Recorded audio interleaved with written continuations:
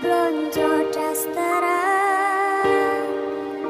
Nanging saiki wis dadi kenangan aku karo kowe wis pisah aku kiri kowe kanan wis beda